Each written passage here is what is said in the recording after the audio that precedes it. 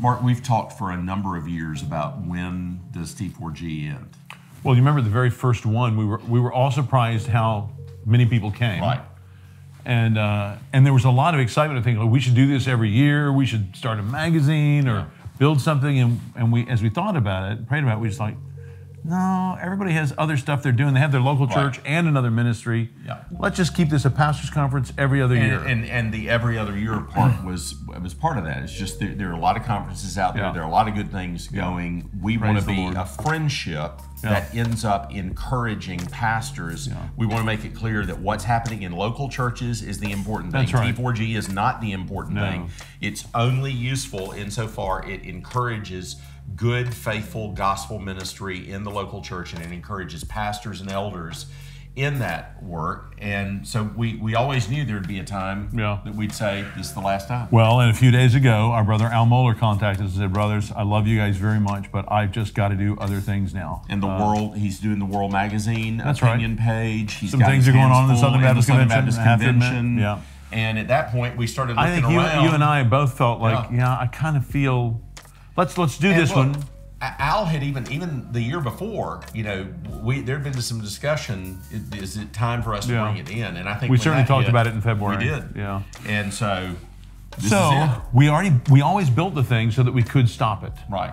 Uh, it's it's funny, you know, with the conference, people don't realize this. There's so much that goes into it that it's it's it's really hard. You, you have to pre-commit to rent places and other kind of commitments you make, and Yeah. you can't break them. So Right. It's funny once you get into conferences, you kind of got to keep them going. So we've worked very hard uh, by the way we've done things. That's so right. that that we we're going to be able to actually stop Yeah. it. And so anyway, I'm pretty pumped about this being the last one, Me too. and maybe this being the best one. Certainly, it's going to be. Yeah. Uh, it's one I'm excited about. I am too. Uh, uh, I'm sorry for the people we don't have. and and having seen the messages, knowing the guys that we're going to introduce, a Yeah. lot a lot of these guys that are preaching are you know they're they're not on the celebrity circuit. These are Yeah. faithful, solid Yeah. pastors who can really preach. Yeah, I mean, they're amen. people that we like to listen That's to right, preach. that's right, Bobby Scott, right. Christian Lawanda. I can go down the list. Shy. Shy, you know. I, Yeah. th- so I'm I'm very excited about the guys sitting under their ministry. but then we're also going to have back David Platt. David Platt will come back and, and again is preaching on my favorite subject to listen to David preach on missions. Yeah. And um, and Alistair Begg is joining us. Praise the Lord. Isn't that great? So it is. Which and is- I bet part of the reason Alistair came is because Sinclair Ferguson. And, and, is and joining again, we, us. you know, the that Scottish there is, um, Sinclair's been in ministry for 50 years as of this year. Hmm. Wow. And, you know, what an encouragement he has been to all of us. And uh, and Alistair has been a friend to him, you know, for all of those years. Mm-hmm. Yeah. And uh, they're like brothers. And so Alistair really worked hard to be able to come and be with us. And I'm, I I'm was thrilled kind about of moving that. some things around. And I think the the topics, uh, theological, relevant, pastoral, aimed at, at church pastors, Yeah. uh, as we've always tried to do, and some panels in which we try to take on some tough topics. And we thought the panels was the best place to do that. Let's Yeah. get up, get on our get on our hind legs and preach. Yeah. Preach the text, preach the Yeah. gospel. Uh, you know, hit our emphases. You know, a theological approach to pastoral ministry. All the things that have been the heartbeat of T4G from the beginning. But these other things that are sort of encroaching on all the pastors out there.